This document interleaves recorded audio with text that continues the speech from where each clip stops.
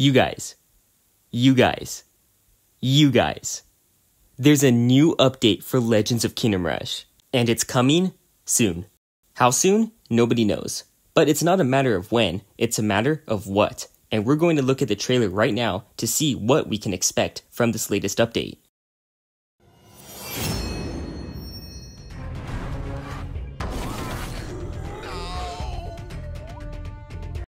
So the first thing that I notice is that this takes place in a forest at night. So I'm immediately reminded of the other nighttime forests in the series, which would be the Rotten Forest in Kingdom Rush 1 and the Fairy Forest in Kingdom Rush Origins. Knowing that the other adventures in Legends took place in strictly Kingdom Rush 1 locations, it's tempting to think that the same is going to be true here. But there's a little something in the top left corner that says otherwise. But before I get to that, I need to talk about other elements of this part of the trailer. The biggest thing here, in both senses of the word, is this enemy that just attacked everyone. Take a close look at how his attack works.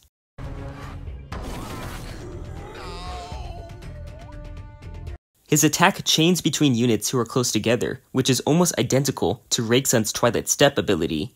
The only difference is that this enemy can attack units that are two hexes away from each other at least, whereas Raiksun could only reach one hex away.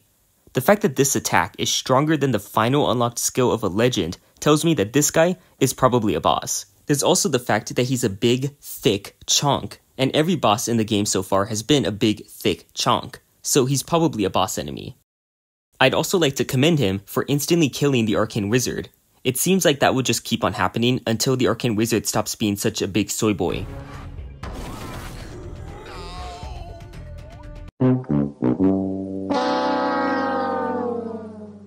The last thing that I'll mention here is this blonde character. You can't see him completely here because the Dark Knight is also a big thick chonk, but you can see most of him. And based on his long spear, his purple tunic, and his long blonde hair, chances are that he's probably gay, I mean a Sylvan Elf. So that supports the theory that this adventure takes place in the Rotten Forest. But let's keep watching.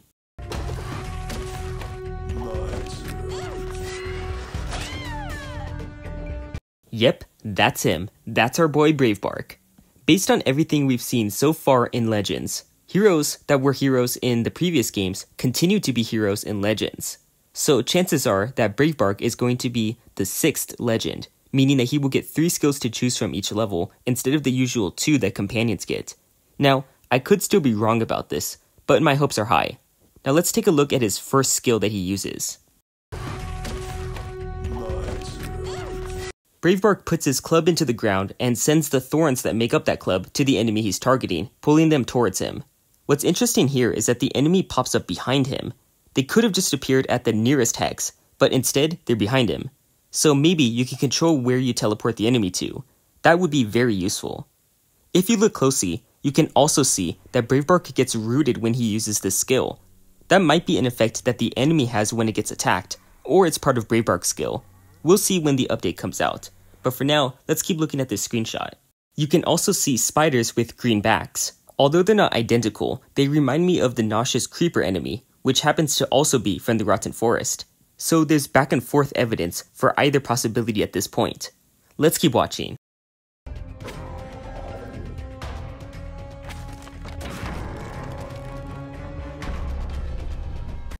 Alright, there's a lot to unpack here. First, it's nice to see Gerald Chad Lightseeker being used. Good representation.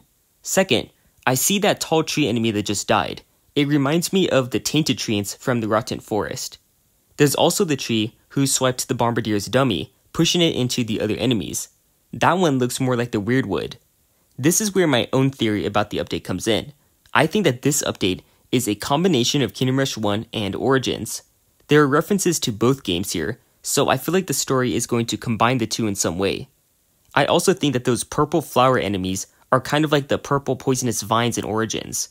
Or maybe it's the Chomper from Plants vs. Zombies and we're doing a crossover. But I doubt that. Now let's keep watching.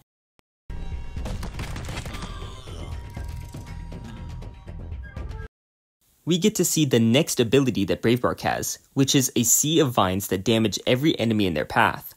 This reminds me of his hero spell, which leads me to speculate that his other abilities are going to replicate his skills in Origins too. Maybe he'll get to use Branch Ball, and we'll have the very first direct insta-kill in Legends. I could speculate about his abilities all day, but I'd rather not. Instead, I'm going to be making thorough reviews of every companion and legend in Legends of Kingdom so stay tuned for that. I'm going to be starting with the Knight because she's a nice and simple companion, so it will give me room to explain how the game works for people who don't know all the details. And let me make it clear that me starting with the Knight has nothing to do with the fact that I'm attracted to this drawing. Oh no. Jaw drops to floor, eyes pop out of sockets accompanied by trumpets, heart beats out of chest, awooga awooga sound effect, pulls chain on train whistle that has appeared next to head as steam blows out, slams fists on table, rattling any plates, bowls, or silverware, whistles loudly, fireworks shoot out from top of head, pants loudly as tongue hangs out of mouth, wipes comically large bead of sweat from forehead, clears throat, straightens tie, combs hair. Milady. Alright, now that I've met my joke quota, I'm done with this video. Have a good day, I hope you enjoyed it, goodbye.